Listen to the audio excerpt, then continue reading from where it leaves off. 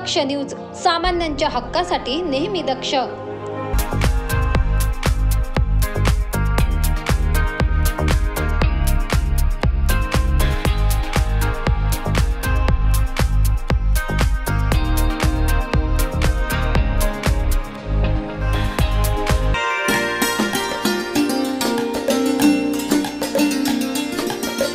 नाथ संप्रदायाचे सिद्ध विभूती असलेले नवनाथांपैकी एक वडसिंग नागनाथ महाराज यांच्या पावनभूमीत श्री क्षेत्र गंगावे विटावे तालुका चांदवड नाशिक. येथे दिनांक पाच ऑगस्ट ते अकरा ऑगस्ट दोन हजार चोवीस रोजी भव्य दिव्य स्वरूपात विविध धार्मिक सोहळे पार पडणार आहेत. त्र्यंबकेश्वर येथील आनंद आखाड्याचे महंत श्री श्री एक हजार आठ श्री गणेशानंद महाराज सरस्वती पंचवटी येथील हरिभक्त परायण माधवदास महाराज राठी आयोजक तसेच अध्यक्ष मानवधन संस्था नाशिक डॉक्टर प्रकाश कोल्हे यांनी पत्रकार परिषदेत हे जाहीर केले. आमचे आशीर्वाद स्वामी त्र्यंबकेश्वर येथून आलेले आणि सर्व उपस्थित पत्रकार बंधू मित्र आपला नाशिक जिल्ह्याचा हा सोहळा असं म्हणणं अ, संयुक्तिक ठरणार नाही असं मला वाटतं. कारण या मंदिरावरती एकशे आठ कलश त्यावेळेस रोड होईल. ते महाराष्ट्रातलं भारतातलं पहिलं मंदिर ठरणार नागदेवचं या मंदिरामध्ये दोन हजार सतरामध्ये पाच फूट नऊ इंचाची पंचतत्वाची नागदेवतेची स्थापना ऑलरेडी झालेली आहे.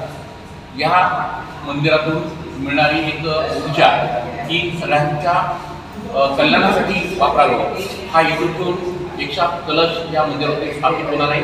यातून मिळणारी सर्व सर्व ऊर्जा संबंध नाशिक जिल्ह्यासाठी महाराष्ट्रासाठी भारतासाठी असावं. नव्हे तर विश्वासाठी विश्वासाठी असावं असं एक मत आहे. या हेतूने अ, जगातला सर्वात मोठा त्रिसूळ जो वर्ल्ड रेकॉर्डमध्ये नोंद होईल असा त्रिसूळ तिथं आपण उभा करणार आहोत. अतिरुद्र सहकार्यज्ञ या सहकार्यज्ञामध्ये सर्वच धर्माचार्य हरिद्वार ऋषिकेश त्र्यंबकेश्वर महाराष्ट्र आणि अन्य तीर्थक्षेत्रावरती सर्व साधू संत एकत्रित येऊन एक छोटा मिनी कुंभमेळ्याचे स्वरूप आणि धर्मसभेचं स्वरूप या यज्ञनिमित्त गंगावी विटावे या ग्रामस्थ गावच्या ठिकाणी होऊ घातलेला आहे. आणि तिथे धर्मसभा घेऊन पुढील कुंभमेळ्याचे नियोजन असेल त्या गावाच्या किंवा या वडसिद्ध नागनाथ मंदिराच्या तीर्थक्षेत्राच्या काही विशेष काही बाबी असतील त्या लक्षात आणून देणं. नऊ नाथांपैकी एक नाथ असलेले वडसिद्ध नागनाथ महाराज त्यांचं जागृतीकरण किंवा सादरीकरण प्राकट्य करण हे साधू संत आपल्या उद्घोषणातून उद्बोधनातून करतील. आणि त्या क्षेत्राचा महिमा जास्तीत जास्त महाराष्ट्रापर्यंत व्यापकतेनं भारतभर कसा पोहोचल हा एक सर्व संतांचा विशेष करून या कार्याचे जे अध्यक्ष आहे कार्यप्रणेते आहे हरिभक्त हरिभक्ती परायण सन्माननीय कोल्हे सर आणि त्यांचे सर्वच सहकारी होतं गंगावर विटावे ग्रामस्थ सर्वांची इच्छा होती. खूप मोठ्या प्रमाणात धर्मसभा व्हावी धर्मप्रचार कार्य व्हावं आणि ते गंगावे या गावातूनच सुरू व्हावं. आणि या वडना वडसिद्ध नागनाथ महादेवाच्या कलस्थापनेनिमित्त हा कार्यक्रम सर्वांनीच एकत्रित येऊन कार्यक्रमाचं आयोजन केलेलं आहे.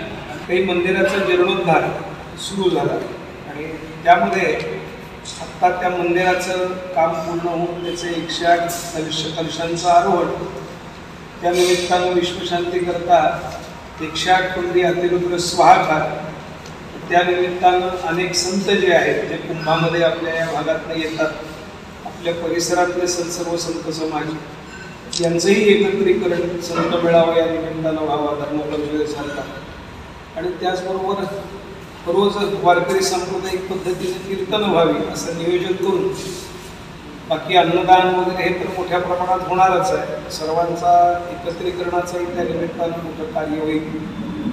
साधारणतः वारकरी संप्रदायातले जे फडप्रमुख आहेत वास्कर फडाचे देवकर फडाचे तेही सगळे उपस्थित राहणार आहेत. संत वंशज आहेत त्याच्यामध्ये.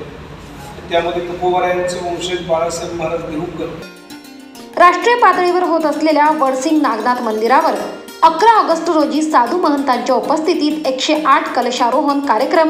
साधू महंत यांची भव्य मिरवणूक. ब्रह्मांडीय ऊर्जा एकवटणारी शंखनाद करणाऱ्या एकशे एक लोकांचा समूह आपला कलाविष्कार दाखवणार आहे. सलग सात दिवस एकशे आठ कुंडी अतिरुद्र यज्ञ सोहळा तसेच सातही दिवस रोज सायंकाळी कीर्तन होणार आहे. शैव वैष्णव यांचा कुंभमेळा भरणार असल्याने न भूतो न भविष्यती असा आगळा वेगळा धार्मिक महोत्सव नाशिक जिल्ह्यात होत असून या कार्यक्रमाला येणाऱ्या भाविक भक्तांना कुठल्याही प्रकारे अडचण येणार नाही अशी व्यवस्था नियोजन समितीने परिपूर्ण केली असल्याचं पत्रकार परिषदेत जाहीर करण्यात आले. करण सिंग बावरी दक्ष न्यूज नाशिक.